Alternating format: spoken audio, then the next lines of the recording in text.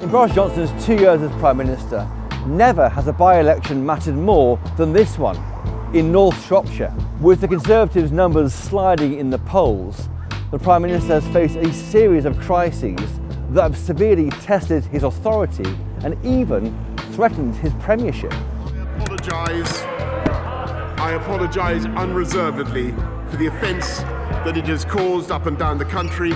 From the sleaze scandal which started this whole by-election process to the row about COVID restrictions and whether they're required in the first place, a loss here will be a disaster for Boris Johnson. The Tories here have a majority of more than 22,000 votes. They've held the seat for basically 200 years, apart from a few years at the beginning of the last century. But forget Westminster. We're here in North Shropshire to find out what voters really care about. And where better place to start than the High Street here in Oswestry. Did you vote last time in the Yes, election? yeah. Can I ask how you voted then? Yeah, I voted for Boris then. Boris? Yes. Will you vote this time? Because of Brexit. Yeah, Brexit, yeah. But I doubt it now whether Yeah. I'll vote for him because it's a bit of a shambles at the moment. Have you decided yet? Do you know what? I haven't. We've always voted Conservative. And why are you why are you not sure this time if you always voted Conservative? I don't know why. I just feel as though they're not really listening to me. Can I ask how you might vote this time? Conservative. And you always have been a Tory voter. I have, yes. And you're forgiving Boris Johnson for his parties that may or may not have happened in number 10 Downing Well, Street? Well, as you said, may or may not happen. Everyone jumps to conclusions, don't Yes, they? yes. And until it's proven. But Yes. um, so does everybody else have parties, but they don't get caught. Is he leading by example, do you think? Um, I think so. I think so. There's one or two mishaps, obviously, in the uh, in, in number ten there, Mm. but I think he's he's up for it. He goes for it, and um, he says what other people think. May I ask how you might be- be voting? I don't know yet. You don't know yet. How did you vote last time? Conservative. Conservative. So you're not sure? I don't think I'll be voting them. No. What's don't. annoying you about them? Is it the Um, yes? You, There's you- too many lies. There's there's too much cover up. There's it, it, they're just hypocritical at the moment, and uh, you know I think you should lead by example. It, it is one rule for them and one rule for us. Yeah. But I, you know, but uh, there, there we go. Can I ask how you might be voting? Have you decided yet? Well, it's uh, it's going to be a last minute thing, I think. Yes. Um, probably vote Conservative usually, but uh, with the latest debacle and things that have gone on recently, it could be the Liberal Democrats. So we'll have to see. 48 years of voting, blue team every time. Yeah. The new fella needs a chance between now and the next general election, and if things don't go to plan, well, they won't be getting our vote for sure, will they? What's he doing wrong? I mean, he's had. He hasn't done anything yet. Well, he's got the rollout done of the vaccine. You've been jabbed. Oh, do you mean the blonde idiot? Oh, I mean, sorry, the, the blonde gentleman. Boris Johnson, yeah. Yeah. Um, he is the thorn in my shoe. Is he? There's no question So you vote that. Conservative despite Boris Johnson, not because of him. Yes. And will you vote Tory this time? Yes, I will. All the rows about parties in, in Westminster and all the concern about the Owen Paterson affair, that's why we're here. Are these a problem for you as a Tory voter? Well, uh, yeah, I don't like them very much, but uh, I'll uh, have to overlook those. And what do you think about Boris Johnson? I've loved him. You've loved him? I love him, yeah. Really you do still love him now? I don't know. And why don't you love Boris Johnson anymore? That's sad. It is really, isn't it?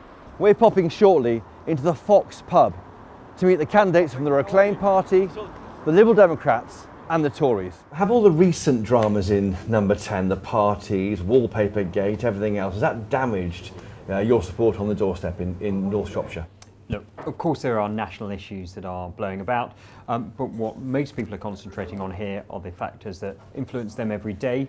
So that's about having access to good quality healthcare, having better roads and rail infrastructure, sorting out rural broadband. We've seen 70,000 homes and rural businesses in Shropshire benefit in the last year, but lots need still need it, and protecting our farmers and, and our small businesses. Those are the conversations I'm having on the doorstep, and that's what I wanted this election to be about.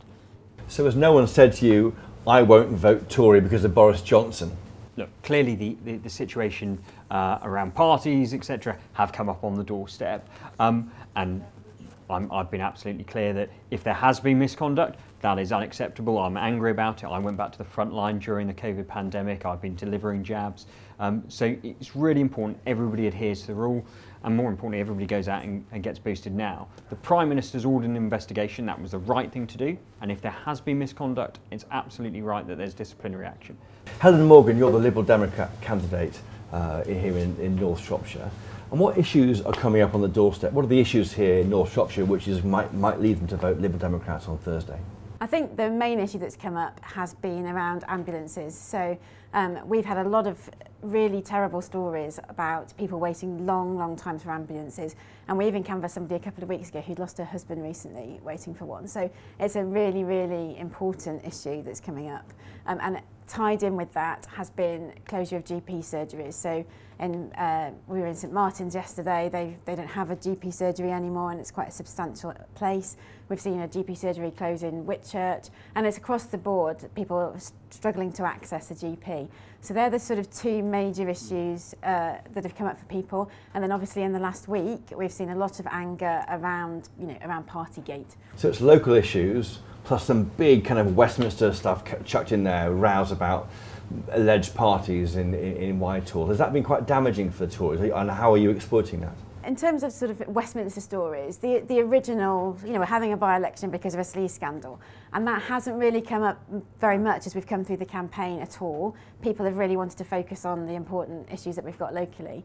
Um, in the last few days, obviously, we've had the whole party scandal, and, and, and to be honest with you, we haven't focused on that. We've, we've focused on our own positive message because I think people here really want to you know, they want an opportunity to have an MP who's going to listen to them, who's going to take their issues forward in a way that perhaps hasn't happened previously and they they understand that it's an opportunity to send a message to a sitting government that they're that they've been left behind and taken for granted. So Martin Daubney, we're here in the Fox pub in Oswestry.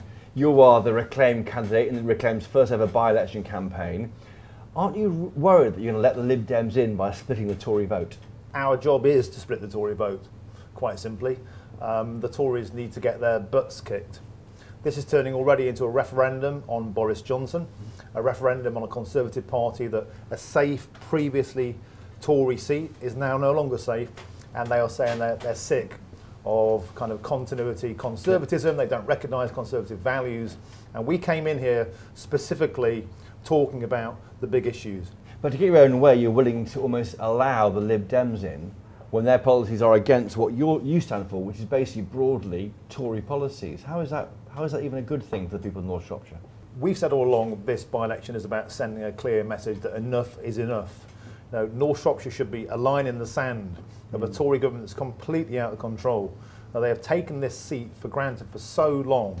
They haven't, they haven't invested any of the levelling up money. It's all gone to the red wall to try and shore up the votes there. But as far as if we allow the Liberal Democrats in, good.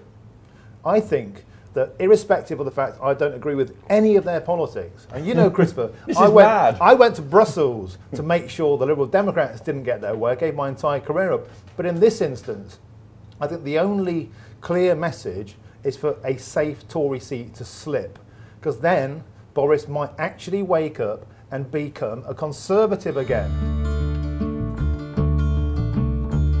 Tory MPs will be watching closely the result of this by-election because a general election could be as little as two years away. However, it's not at all a clear-cut result on Thursday.